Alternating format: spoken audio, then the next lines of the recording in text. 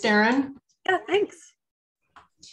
Thanks, Darren. We're super excited to be here with you today for the digital program. My name is Leanne Presley, and I'm here with my colleague, Laura Cameron. And we wanted to take some time today to just review from a marketer's perspective what we saw at the show, a couple do's, a couple don'ts. Uh, we will be open to running this workshop style. So if you've got a question, you can go ahead and put that in chat and I'll poke in there periodically to check for comments. Uh, or I guess, Laura, we can just let them uh, interrupt us with uh, if they want to come on audio or video. We're totally casual here. And uh, we've prepared a couple slides for you. We took a lot of photos at the show and we're all visual people. So I don't, I don't know about you guys, but I like to see things. So we prepared a deck for you and we'll go through that today. So welcome everybody. Sure. Welcome. Huh. So, go ahead, Laura. You want to do the first one? oh, I can.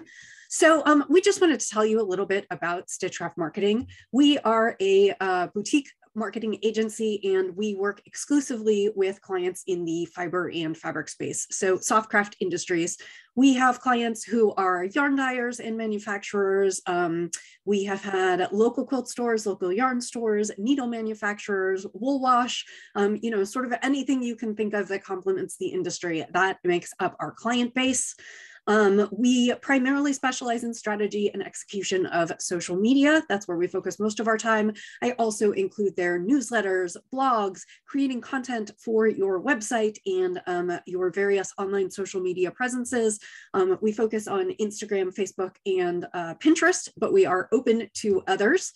Um, we also work with a, a, robust network of subcontractors, and so we have the ability to provide you with some website design and maintenance, um, some branding, logo design, digital ad placement, um, and we are starting some new mastermind groups in August. We have some information about this later on. So if you have marketing questions, we are available. You can find us at stitchcraftmarketing.com. We publish twice monthly blog posts. We have um, a newsletter that goes out once a month, and then we also conduct what we call office hours, where we present um, just a few minutes on a Zoom call on a topic, um, and then you can ask us questions either on that topic or on anything. It's a space for you to get a little bit of free marketing advice. Um, we are all crafters. Um, and we have been working in the crafting world for quite a while. So we sort of speak the language, we know who your customers are, and um, we're thrilled to help you build sustaining, uh, sustainable, thriving businesses. So that's just a little bit about who we are and sort of um, how we got tapped to do this presentation. So um, we broke the presentation down kind of into some best practices and some tips for exhibitors and retailers um, based on what we saw throughout the conference. And we're gonna kind of just talk back and forth. Um, like Leanne said, we're super visual. So I've added uh, lots of our photos as well as things I found on social media, just so we can kind of illustrate the kinds of things we thought were interesting. So our tip number one is to everyone to share what you're doing. I know um, you, not everyone loves social media, um, but it is a great way to share either if you're an exhibitor, what you're doing, um, or as a retailer, um, what kinds of things you're seeing. Uh, if you look up the hashtag HH Americas, you can see all kinds of fun pictures from over the weekend um, from everyone from um, exhibitors to attendees. And then the other thing that I thought was kind of cool, and this is actually my local yarn shop, so I recognized it, was that my local yarn shop was there and then um, shared a photo afterwards about something she purchased that's going to come this fall. And these are gorgeous Freya yarns. Um, and I'm super excited she's going to be stocking them this fall. But this is kind of a way for you to share where you're going and who you're seeing and what you're doing. Yeah. Um, I, I, I love the, I love this idea, Laura. I think um, we saw this all over the show. And one of the things I want to point out is in the left-hand image that you have here, the booth 530, June 22 to 24 is one of the exhibitors. And I love how that exhibitor really thought, uh, was thoughtful about the post that they were going to post, because as you'll see later in our presentation, that image comes up again and that consistency was just wonderful because that Im- that is the same image that she had she or he had in the booth. Uh, and then that was another photo opportunity for people to come and, and take a photo with that uh, which you'll see. I thought that yeah was the watermelon really and the clever. pineapple and the coconut. They, they were pineapple and the coconut. Yeah, yeah, and i guess the same can be said of the one right next to it the woman uh, wearing the pink dress. Uh, that'll be one of our tips too is just shout it loud and clear, not only in your booth, but uh, it, on the social channels as much as you can, because people make that visual connection, right? They see it on Instagram and then they're like, oh, there's that beautiful dress I saw. Oh, yeah, I'm going to go over and chat with her. Uh, so I, I, think people should be on social and using the hashtags and or you know using this as an opportunity to promote their content and what they're seeing on their channels. Yeah, so, our second tip this is kind of for everyone is to network. You have so many opportunities when you get there to meet people, whether you are using the app, which I've highlighted here on the left. Um, you can also, you could scan people's badges, which meant you could connect with people and you will still have an opportunity until the end of July to download that information from um, the H&H Connect app. So if you met up with people, it was super easy to exchange details. You didn't necessarily even have to exchange business cards. Um, and I have chatted with a few people since I got back. And then the other thing that I really liked was the, um, this is the CIA booth, the Craft Industry Alliance. They had an area set up where everyone could take photos together. Um, and it was just, it was a fun time to meet up. It's been such a long time since we've been able to gather in person. And whether you're seeing old friends or making new ones, um, you know, really meeting anyone you can and, and putting connections together. You never know who you meet today will be someone who you can do business with tomorrow. Mm -hmm. Yeah, I don't have much to add here. I think that's really a great suggestion, and I always try to do that ahead of time. I think the only uh, thing I would that I would add or say is to maybe prep that a little bit. Take some time to go through the program, visit the website, see what's happening. Uh, because I did hear at the show a couple people that were disappointed that they missed such and such or so and so. Oh, I didn't know the designers were getting together, or oh, I didn't know there was a TNNA meeting. Uh, so if if you want to take a few minutes before you get to the show and you know make a calendar or make a schedule of all the events and the meetups because there's tons of things going on. Sometimes things are overlapping those networking events. Uh, just so that you are um, planning who you want to meet with and don't miss those opportunities. Yeah. So now we're going to move into our five tips for exhibitors. Um, and then after this, we'll go into our five tips for retailers. So if you're a retailer, um, you know, you, you may get something useful for exhibitors because a lot of this is about display and sort of how to how to build your booth and how to introduce yourself to customers. And some of that will be relevant to you. And then we'll flip flop and do the second half. So I will let Leanne start on this one. Yeah. So the first tip one is to make the mo most of your booth space. Uh, we took a lot of video of different types of booths and I will say, you know, there's a lot of different styles, a lot of different ways that you can plan out your booth. And as you can see in the video on the right, you know, this is the Indie Untangled space.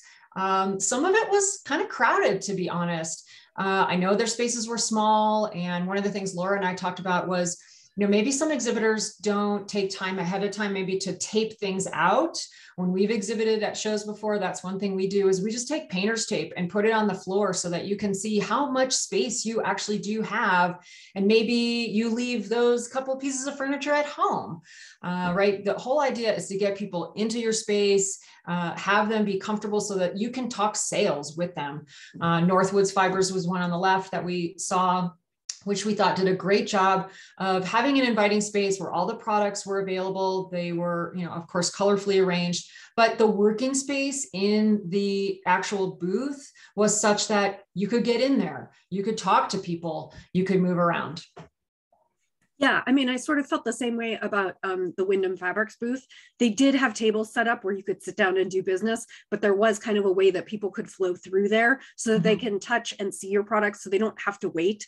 We saw a couple booths with a piece of furniture like right up at the front of the booth. And if you had a narrow booth, that kind of um, limited who could get into your booth. Um, and, and it creates kind of a traffic jam and it's just not the best way to like welcome people into your booth, especially since our industry is so much based on color and texture and touching and feeling. And you know you want to touch the fabrics you want to touch the yarns. And um you know if if you can't get into sorry if you can't get in to see that um it becomes a little hard. Um the interesting part um that i want to say is let me just pause this video so it doesn't yeah it's not going to go again. Um, one of the things that we talked about was so I saw this booth on the left here as kind of um, welcoming and kind of fun. Like they had a comfortable place to sit, they had fun right. pillows, they had fun quilts. And yeah. when Leanne and I were talking about it, she was like, Well, you know, but if people were in there sitting and talking and having a conversation, I would yeah. feel like I couldn't go in and look at those quilts closer. Yeah, and, and you feel like you're interrupting. You know, at a couple times there was uh, people sitting on the couches, and you know, most people wouldn't have known if they were the owners or they were customers.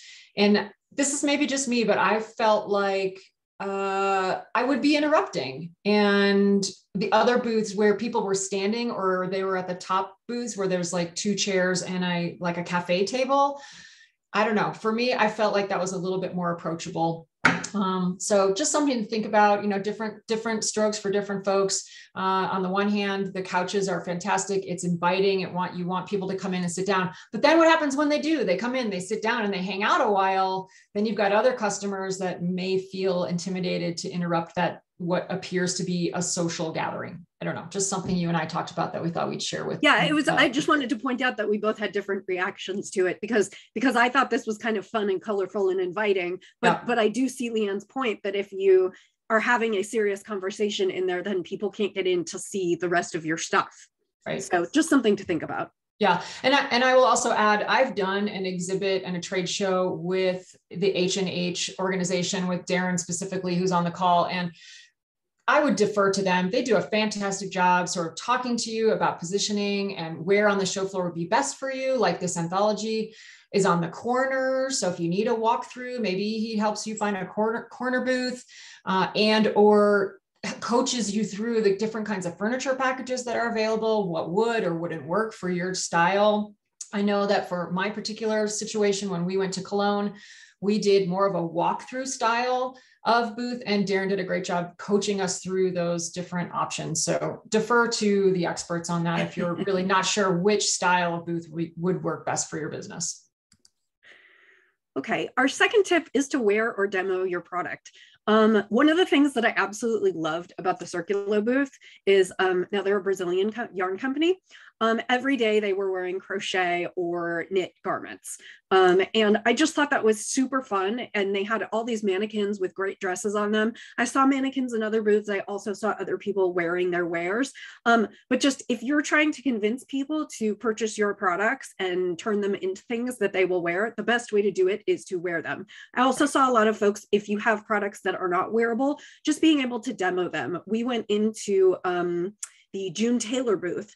And. June Taylor makes all kinds of, June Taylor is a um, sewing product and um, merchandise company, and they don't actually sell fabric, but they have all these great solutions. They had kind of a sew by numbers kit, um, and she was able to just walk us through the entire demonstration of how that thing worked. And it you know, it was much better than just having like a prepackaged product sitting on the front of the booth because we actually got to see she um, had projects in various states showing us how you worked through them and how all the tools work together. And that was really, really cool. So I would definitely say wear or demo your product.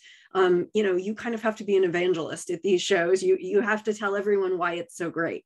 Yeah, and it's a wonderful opportunity to open up a conversation about your product uh, many, many uh, vendors were wearing shawls or wraps or tops, or like this particular example where she's got this gorgeous uh, pink dress on.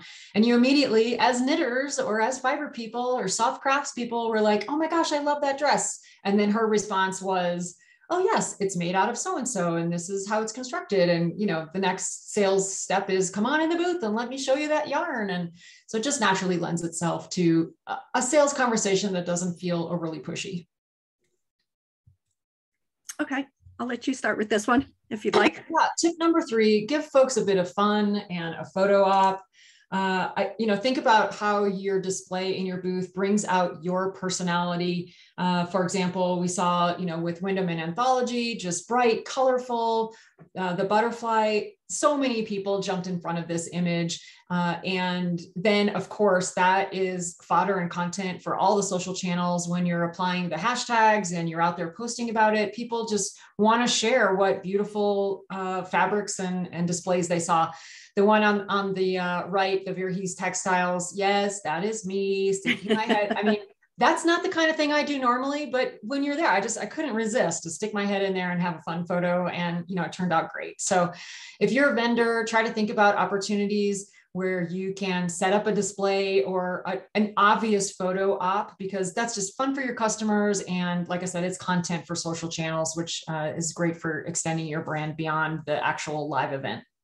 Yeah, and these were just a few others that we liked. Like we said, um, Fabric Editions, uh, all of their branding is sort of around these fun little amigurumi creatures. They're actually a fabric company, but it's just super fun and kind of a mixing of the crafts. Um, and then I really loved um, Wonderland Yarns built this archway into their booth. And not only was it, you know, kind of a feast for the eyes, but it was like a perfect place to take a pho photograph. These are the owners of Wonderland Yarns. Um, but, but I saw tons of photos on social media of people in the archway. Um, so it's just, you know, it's something to make you a little bit more memorable, something for people to have fun with, let them share on social media. Um, and it just gets you, you and your products out there because of course people mm -hmm. are mm-hmm. looking at these booths going, which booth is that? I want to know what they mm -hmm. sell, you know, and somebody could be looking at those gradient yarns thinking, I really need all of those in my shop, or I really and, need all of those in my stash. Yeah. and, you know, Laura, I mean, the unfortunate truth about some of the booths that didn't take advantage of this and didn't do it you know you know the ones that you walk by and they've got a big space and maybe they just had a couple table and chairs with a catalog on it or a notebook on it and there wasn't a lot of inviting stuff unfortunately those were the booths that didn't have a lot of traffic in them uh, yeah. so you know i think if you do follow our advice and try to create something fun something inviting you will see a conversion in traffic yeah Tip number four, and this was kind of a big trend. I also saw this in the trends talk earlier this week with Prime Media.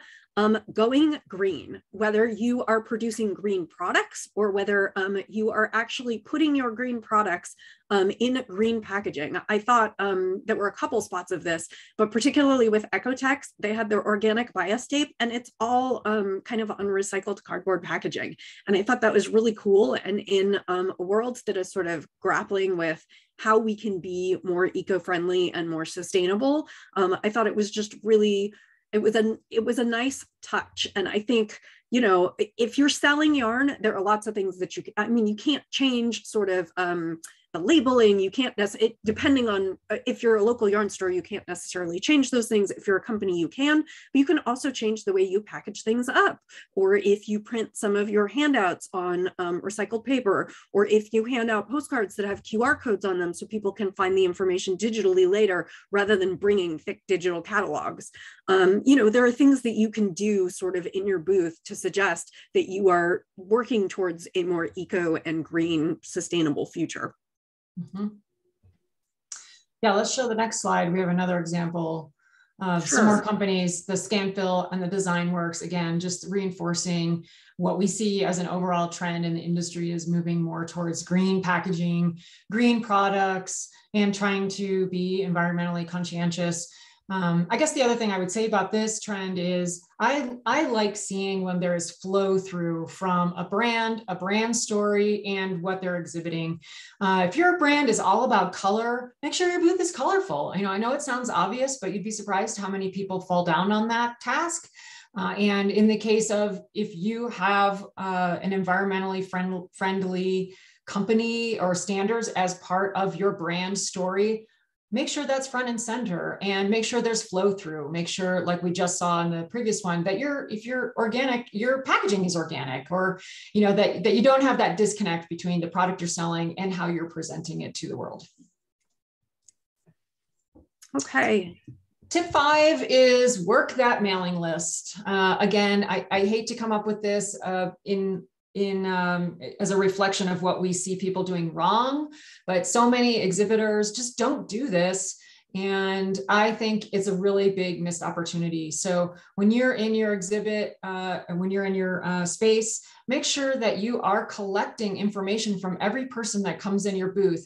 And we put together a couple tools here. There's tons of these card scanning apps one of them is Evernote, which a lot of people just use in other parts of their organizational life.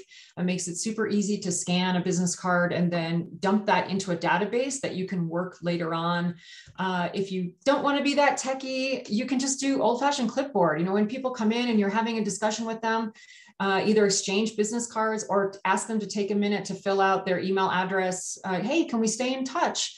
And hand them your clipboard. And then of course you got to go home and enter all that data, which is why the card scanning apps are so fantastic. Um, and then, like Laura mentioned at the top of the presentation, you can utilize the app also. Uh, this particular app at, at this trade show had a wonderful QR code interactions and ways to collect information from people that you can then process later on. But don't miss the opportunity to connect with them at the show, get their email address, and then start to correspond with them after the show. That's what it's all about. It looks like we might, is there a question in chat? I can like see that it's lit up, but I don't have chat open because I have the. Uh, no. Oh no, that was Darren. Okay, never mind. Darren's asking oh. people if there are questions. we'll go on to the next. Um, so now we're going to shift focus a little bit and look at kind of from the retailer's perspective as you're visiting the show, um, what kinds of things you could see and take home and do. So this was kind of a big one. Um, research the exhibitors before you arrive.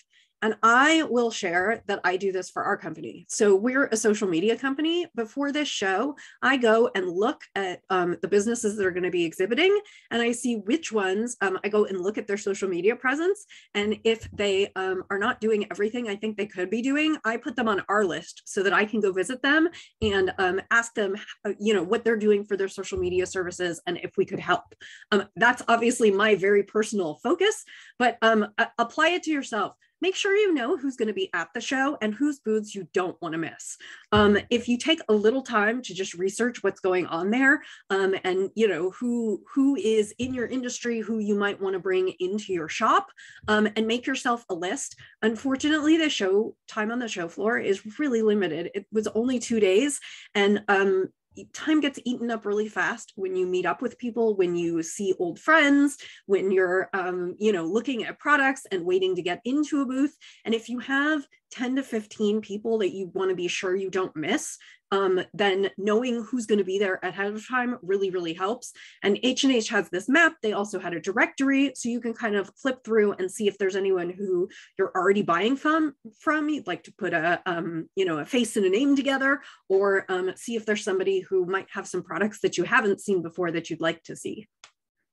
And I guess the thing I would add to that is just a couple more efficiency tips that I employ and Laura and I do together, or for you to think about when you're at the show floor. When you make that list, you know, your hit list of all the people that you really want to stop and visit, put it in and put it in, uh, organ, organize it according to the rows so that you're going down a row and then coming back a row. I also like to make note of uh, the adjacent aisles because you'll see, and if you're at the show, you know this happens, you're going to booth 222 and the owner is already talking to somebody. So gosh, are you going to stand there for 15 minutes and wait for them to be done with their conversation? No, you're going to bop over to row 340, which you know using the map is adjacent because you've circled your hit list of the places you want to go. So you bop over to 300, do that conversation with the owner that is free and not talking to anybody, and then circle back to row 200. So that's kind of how we do it too. Stay in sort of a bullseye area of the show floor and move around in like a hub and spoke fashion so that you're covering all that ground. Um, the other thing I would say is think about the kind of visitor you are in the booth. So I know from experience that a lot of exhibitors that are trying to sell products to retailers, for example, those are the people that they're there to see first. And so sometimes they get a little anxious if designers, uh, marketing companies, you know, people that aren't there to buy product from them are consuming the peak hours of the show. So we try not to do a lot of our heavy sales calls uh, like the very first day of the show, the first few hours of the show, because that's the time they don't want to see us, right? So they're not going to give us their attention. So think about that with the hat on of who are you and what do you need from that booth? If you're a retailer and you're there to buy yarn and that's their purpose, then you do want to get there early in the show and early in the day because that's when they're expecting you the most, right? Does that make does that make sense? Um, mm-hmm. And then just other tips, you know, if you're making appointments, which we'll talk about in a minute here, um, you know, just allow enough time uh, in between for you to, you know, take a breather, write down your notes, stay organized, and, and so on. So that's just kind of our tips on, on how to work the show floor. Uh, and like Laura said, the research really helped a ton because we didn't have time to see all of the people that we wanted to talk to. So we needed to really make a priority list who was first who had the worst social media that we thought would need our services the most those were the places we visited first. And then, you know, day two, towards the end of the day, like right before we're ready to head off to airports, that's when we were like, well, let's let's try this one, or let's go visit old friends, or just so that you don't run out of time. So my second tip is register for the classes and attend talks. Um, there were so many events that I did not get to go to that I wanted to, um, but I have been trying to catch up this week.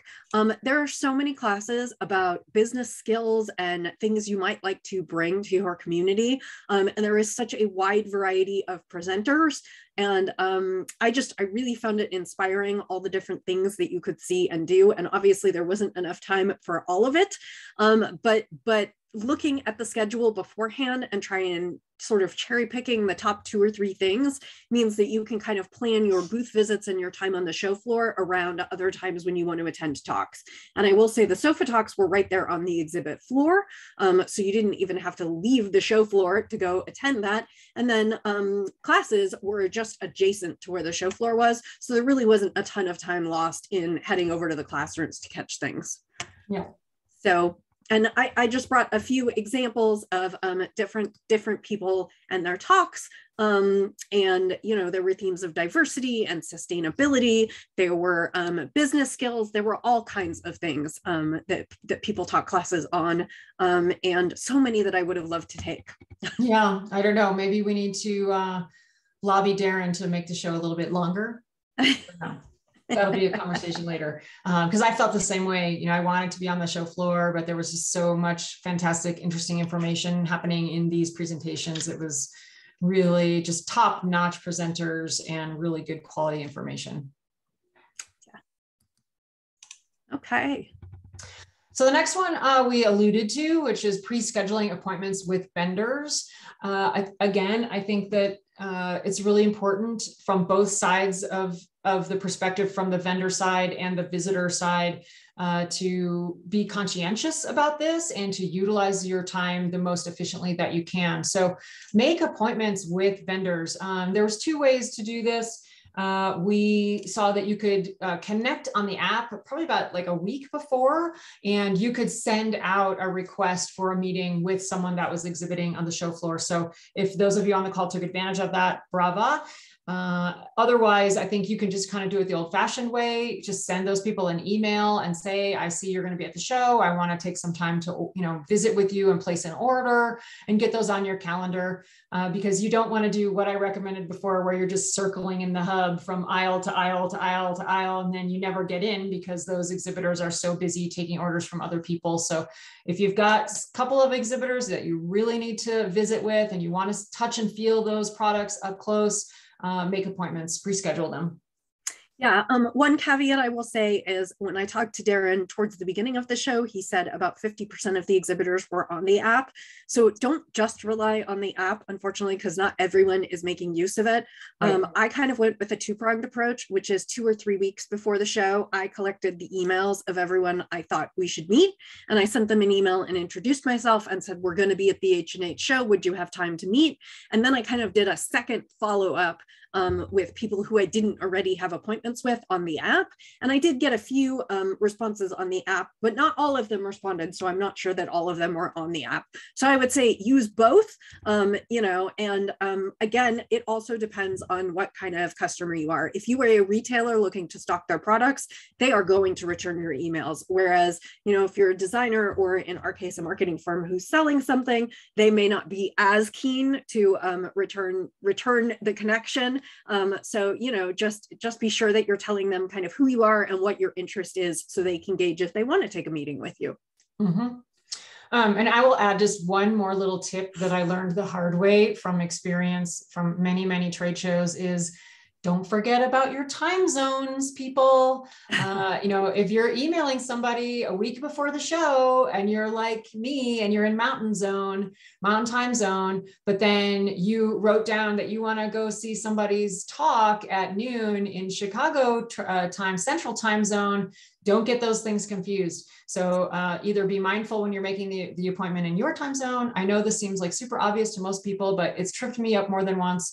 Uh, so I would just say, you know, be mindful of that and, and utilize Google and the time zone switching options that they have in the phone, in your phone to uh, make sure that doesn't trip you up.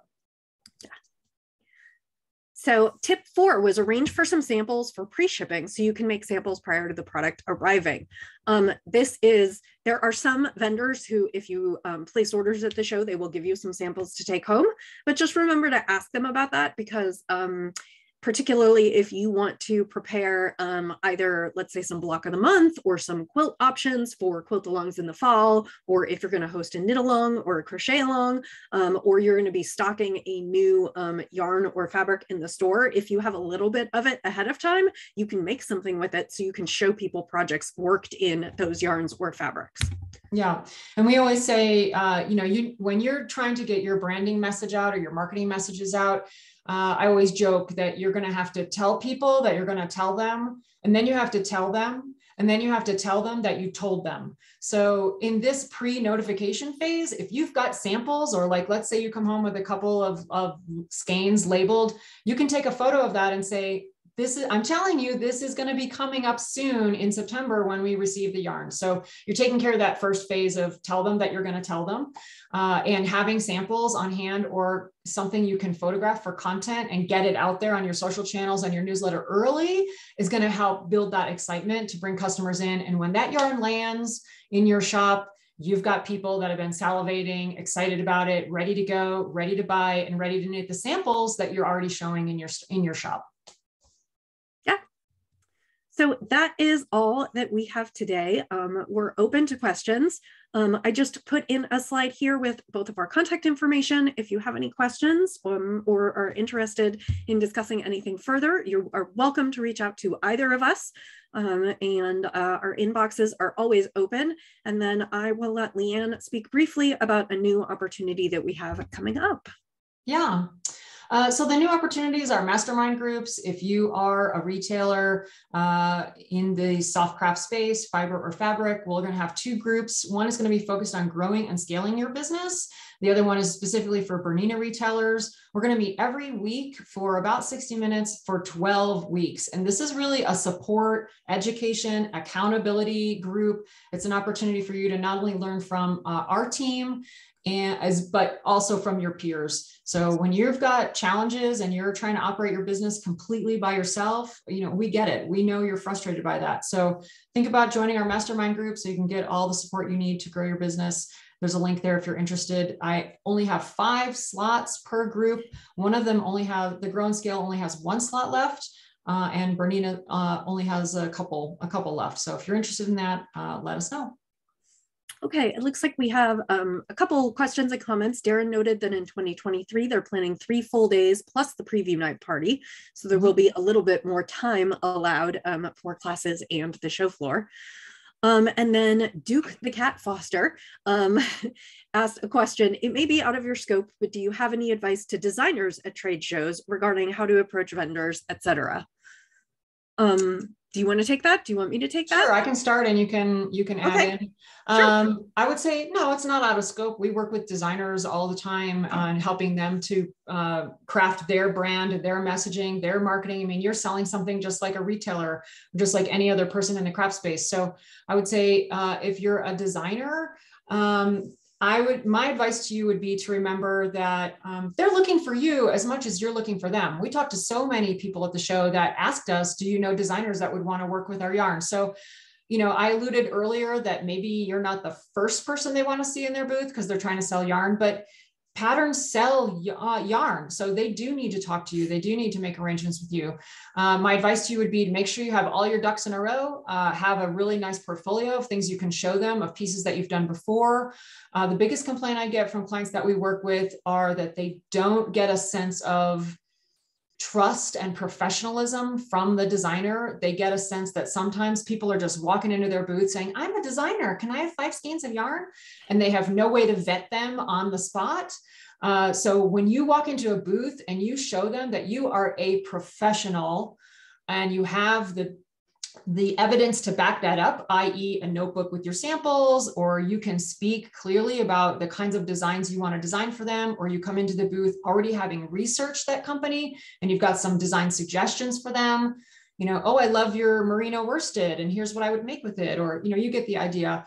Um, that gives them some assurance that you're not just some fly by night person looking for free yarn. So that would be my advice to you. Uh, and of course, follow up afterwards. That's really important. Get your contacts, make your introductions, and then uh, again, be professional by following up afterwards. Yeah, I mean, I, I think that's the biggest thing that we hear from our clients um, sometimes is, oh, this designer called, I sent them some yarn and I never saw the design. I never saw the design. I never heard about it. Yeah. You know, I mean, I realize that the design process is not necessarily they give you the yarn this week and in two weeks you have a pattern. It, it takes longer than that. But, you know, um, if you're working with a yarn company, um, send them a few shots as you're designing your piece, like just to show them that it's a work in progress. Let them know that it's coming. When um, you're getting close to publishing, let them know that you're getting close to publishing. Because again, if you're designing something on a specific base, make sure they have some. Um, there may be some co-marketing opportunities. You know, they may be able to push it to their clients just as you push um, your new pattern to your customers and share that you worked with this yarn designers um, um, specific yarn, they may want to um, host a knit along or offer a coupon code, or, you know, there, there are lots of opportunities. And the more you approach it as a professional relationship and communicate with them, you know, where you are in your process, when you expect to be done, what you expect to deliver, um, you know, for whatever they give you, the more you can make that clear up front, um, the more likely they are to be like, to to be interested in working with you and to be excited and and honestly my only other advice is follow through don't disappear because you prove that you are a trustworthy person. If you have a really good collaboration with them once they are a hundred times more likely to collaborate with you again. Yeah reliable professional designers are hard to find. Yeah. I mean that's that's what we hear from a lot of our clients. That's what we hear. Yeah. Well, if there are no other questions, I would say thank you so much for your time. And um, again, feel free to reach out to us. We are already looking forward to next year's show. Yeah, we are. Thanks, Darren. Appreciate the opportunity. Yeah, thanks so much, Darren. Share.